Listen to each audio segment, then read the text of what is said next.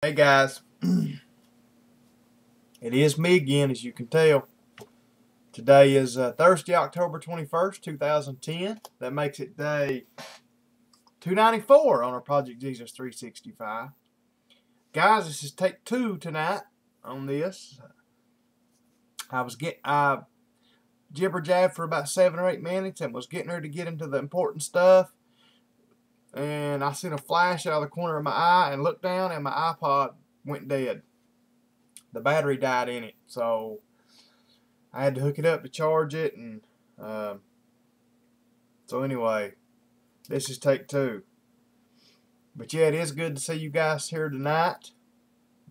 Um, as you can tell behind me, not watching the Food Network. It's kind of strange if you guys will pay attention, but uh, as I've told you guys before, I cannot stand reality shows. The only type of reality shows I like is like crime fighting, you know, crime type based reality shows. And that's what I'm watching there, the first 48, you know, where the detectives from different police departments, it shows, you know, they try to solve uh, murders within 48 hours, you know. So, uh, all they are, the Food Network has got as bad as any other channel about having reality shows. You know, they've got Chopped and the Next Iron Chef and uh, Restaurant Battle and Cupcake Battle and uh, and Next Food Network Star and all these reality shows. And I, oh, it makes me want to puke. You know, when I, I turn on the Food Network, I, I, I turn it on there to see Guys Big Bite and uh, Good Eats and uh, best thing I ever ate. Shows like that, you know, so showing food, shows showing food, food prepared, food already fixed. You know, I'm not on there to see a reality show with people fighting and stabbing each other in the back and cooking and crying and hollering. So anyway, that's why I'm not watching that tonight. Um, what else, guys? Oh, I just finished um, making my first batch of bullets tonight. So uh, I made 20. It took me all night pretty much, you know. First batch, I wanted to take it slow. My back is killing me because I had to stand up the whole time because I don't have a... I've got a stool that's too tall and then a regular chair is too low. So I got to try to find me a, a adjustable stool or something, you know, something I can get the right height. But yeah, I did make my first batch of bullets. Like I said, I made 20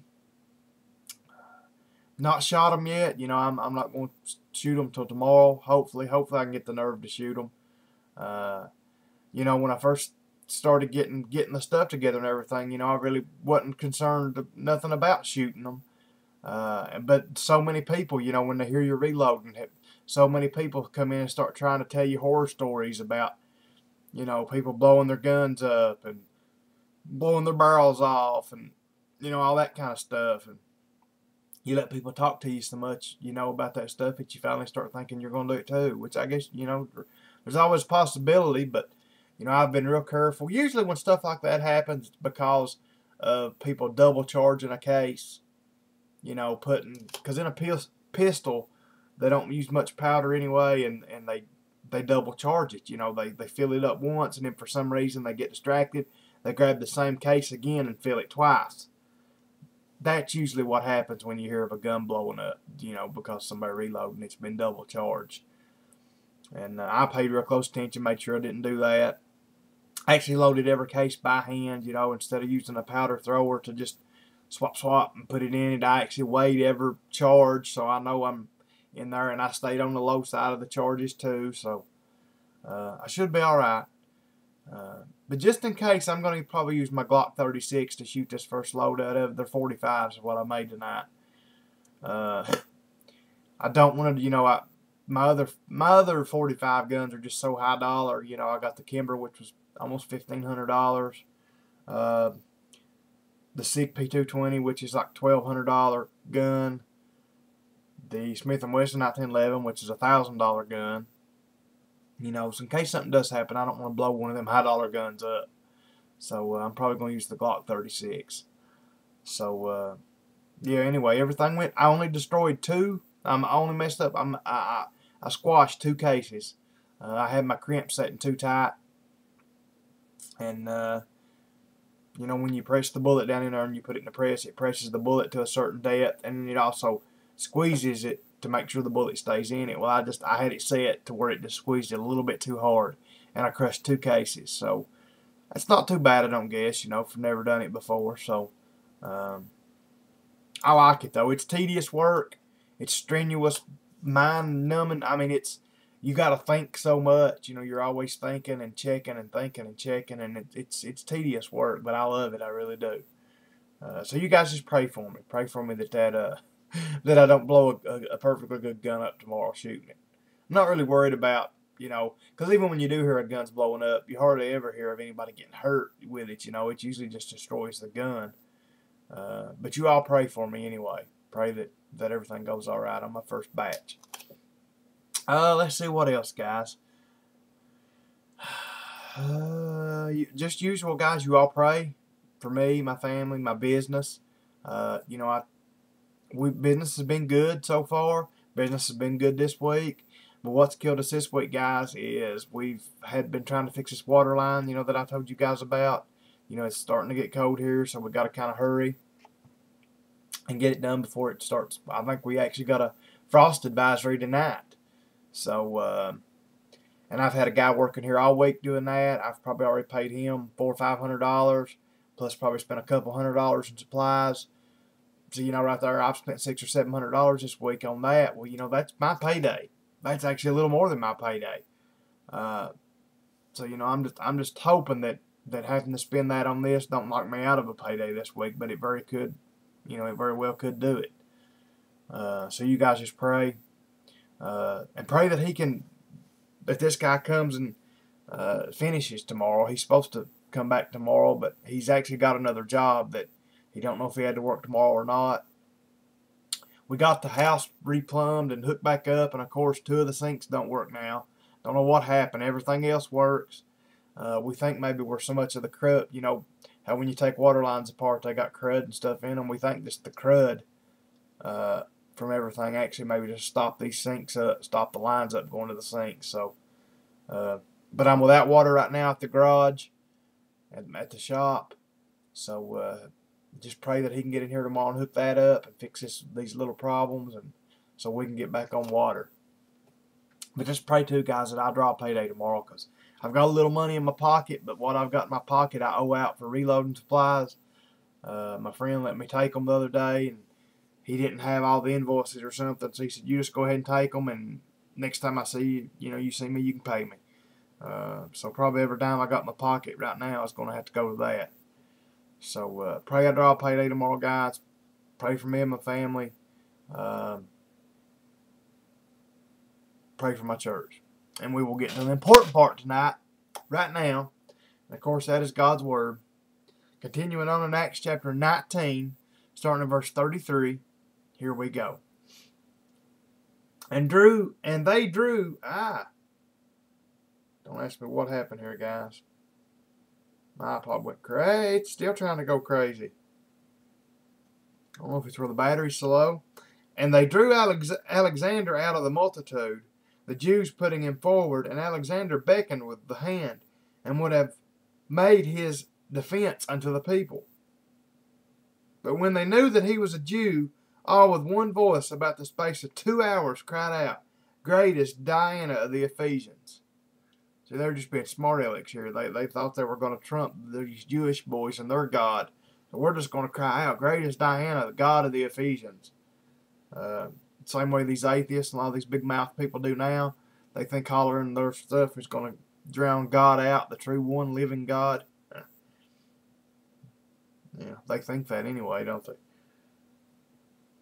And when the town clerk had appeased the people, he said, Ye men of Ephesus, what man is there that knoweth not how that the city of the Ephesians is a worshipper of the great goddess Diana, and of the image which fell down from Jupiter?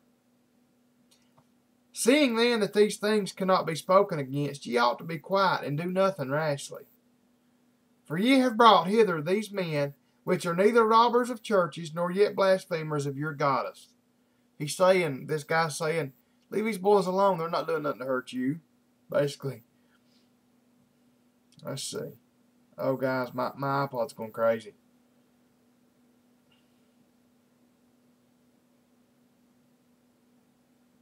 Let's see, guys. For ye have brought...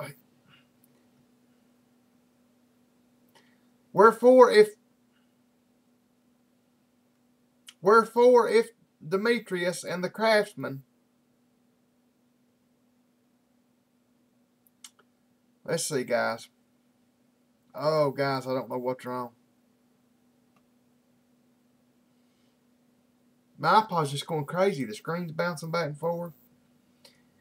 For ye have brought, let's see, wherefore if Demetrius and the craftsmen which are with him have a matter against any men, the law is open, and there are deputies.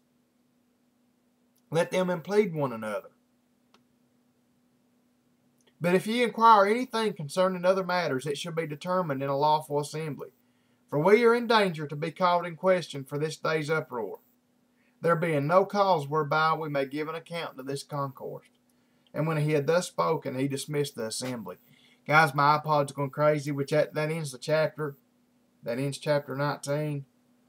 So, uh, I don't know if you guys can see it right here.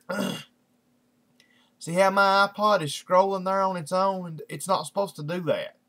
And a minute ago, it was jumping, actually going brrr, jumping back and forth and uh, I'd touch it and it'd stop and then it'd bounce worse and so maybe where the battery's dead on it it's it's uh, trying to do that I don't know but uh,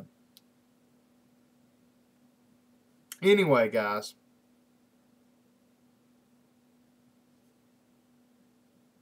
like I said uh, we'll start tomorrow good Lord willing chapter 20 um, you guys need anything, as always, holler at me. Oh, but I did want to mention something, guys. I know I didn't answer comments last night for the night before, so I'm going to have two nights of comments to answer tonight. Uh, I just, I had so much to do last night. By the time I got, to be honest, I forgot it when I when I uploaded my other vid. I kind of forgot it for a while. And uh, I just, to be honest, it was almost, it was like 2.30 in the morning by the time I realized it. I didn't get into bed last night until like 2.30. Uh, I wasn't feeling good and had a tooth bothering me just a little bit. And, uh, I was actually crawling into bed like I've done before when I realized that I didn't answer the comments. And I said, well, I'm not getting back out of bed and firing the computer back up to, to answer them. So, uh, sorry for that, guys. I really am. So, uh, I'm going to try to answer them right now in a minute. And uh, if you guys need anything, like I said, just holler at me. And uh, keep praying for me and my family, and I am praying for you guys. Uh, I really am praying for all of you. I know a lot of us, you know, there's a lot of people having tough times right now. Uh, we just have to hold on to each other and more importantly, hold on to the Lord. He's the only one that can get us through it. So, uh, anyway, guys, uh, good Lord willing, I'll be here tomorrow night. So, till I see you again, good night and God bless.